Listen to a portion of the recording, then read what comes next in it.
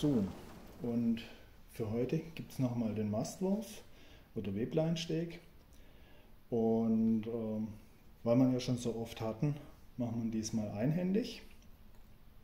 Kann beim Klettern ganz nützlich sein, wenn man am Stand ankommt, sich mit einer Hand am Fels festhalten möchte, dass man nicht runterfällt, mit dem anderen aber erstmal seinen Stand aufbauen oder sich im Stand einhängen möchte.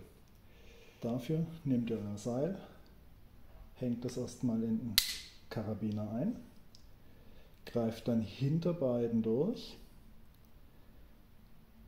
schnappt euch das hintere, verdreht es einmal, dass ihr wieder wie beim normalen Mastwurf die zwei Schlaufen habt, deren Seilenden versetzt vor der Querleine langlaufen und dann hängt ihr euch das Ganze nochmal in den Karabiner ein, straff gezogen und ihr seht, ihr habt hier schön den Mastwurf drin.